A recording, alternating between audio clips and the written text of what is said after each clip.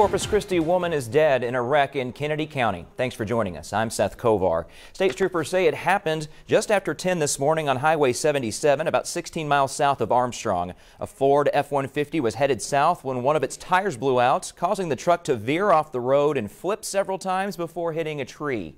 Four people were in that truck. One of those people, 43-year-old Magdalena Escobedo, died at the scene.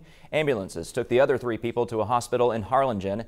They're expected to be okay. State troopers are investigating that wreck.